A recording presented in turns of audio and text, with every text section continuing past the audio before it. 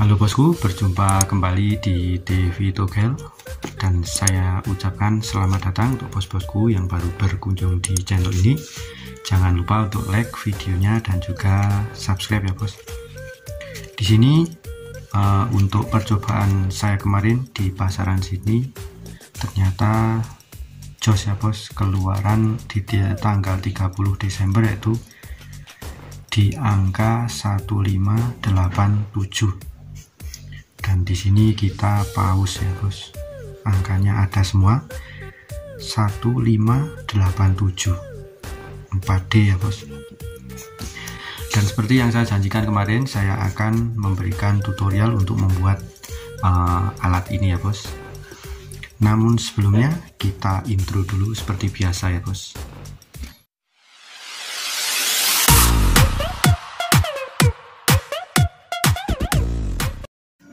Baiklah bosku, tidak perlu lama-lama.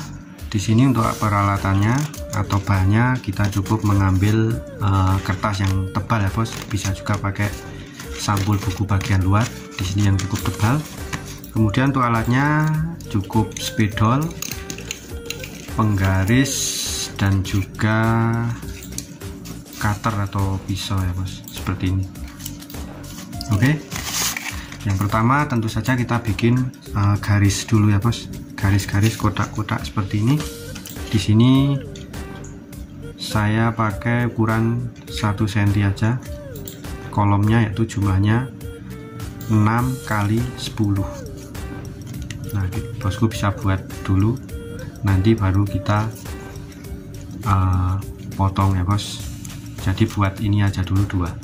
Terus kita lanjut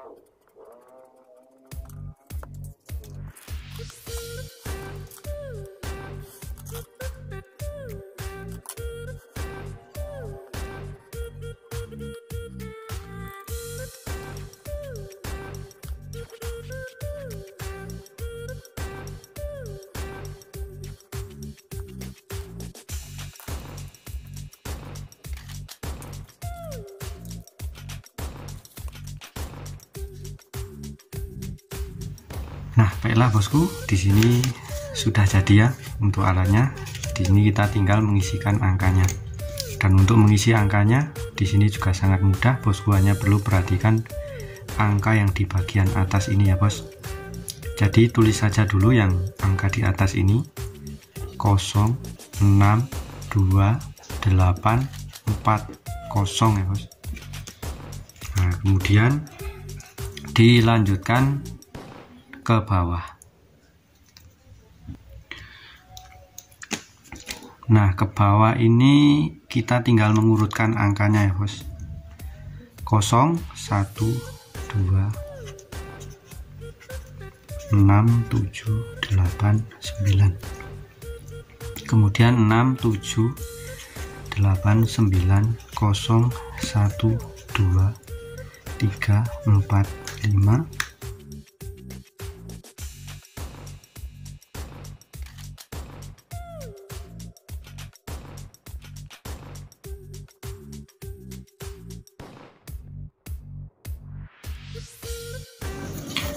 Nah, di sini bosku alatnya sudah jadi ya.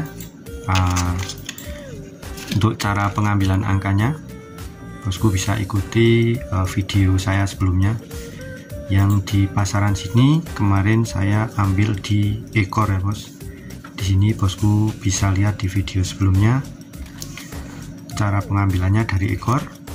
Nah di sini misalkan ekor 2 maka kita ambil di angka 2 dan di sini untuk angka BBFS nya yaitu 0517628 di sini kemarin sudah saya coba di tanggal 30 untuk prediksinya.